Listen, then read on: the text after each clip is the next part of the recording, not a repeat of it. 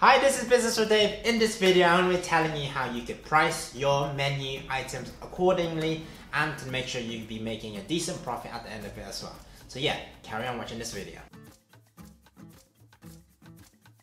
So when you're deciding on pricing for your street food, restaurant or cafe business, you want to have a look at the wealth of the area and the pricing of your competitors. This is important because then you know who your target audience is and what they're willing to pay and also the area and what it is needed in order to succeed and what you could potentially charge those customers as well. So in general, you should be hitting the 70% yield on the back of each product sold. And that's ideal. So don't be disheartened if you can't get 70% at the start. What your aim is, is to try to work your way up to 70% yield. And in order to work out that 70%, is really simple. So in order to work out the yield, you want to make sure you subtract 1 by 0.7. That will get you 0.3.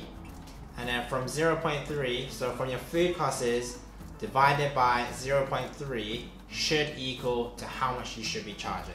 So for this example, I'm going to be using 2 pounds uh, divided by 0.3 and that will should be equal to 6.67. So that should be your roughly what you want to try aim for if you have your cost is at two pounds.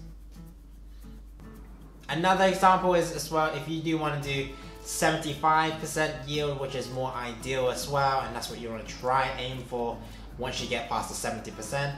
You want to do the two pounds uh, divided by 0.25 equals eight pounds which is really simple, really easy.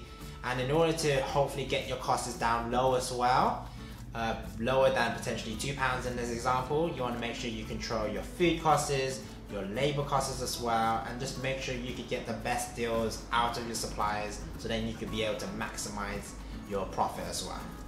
And this will be key here because if you could yield as much profit as you can from each potential sale, you'll be able to gain those profits that you could hopefully reinvest into the business, reinvest into new equipment and stuff like that, or just improve on existing services as well to your customers.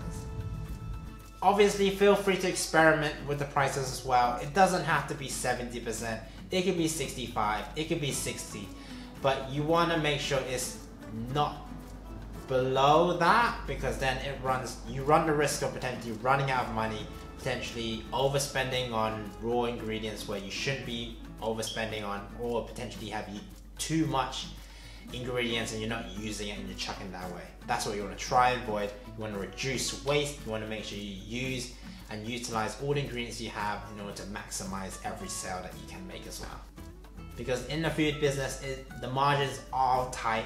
It will be tight. You don't know where there could be a shortage of people, there could be less demand in a particular part of the year and stuff like that. So you want to make sure you can maximize each sale, make sure you offer the best customer service and food, and make sure you build that customer loyalty.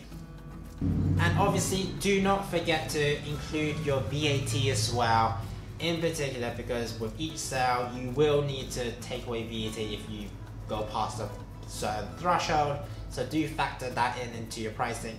And in the link below, I'll be linking onto the website that will is a calculator that you can calculate your food costs, your VAT, and what you should be charging. In the link below, so do check it out as well. Thanks for watching this video guys, hopefully you found this video useful. If you did, like this video and consider subscribing to the channel. We'd love to see those numbers go up, please, please, please. And then I can carry on making these videos, so yeah. I've been in Business with Dave, I'll see you in the next one. See ya.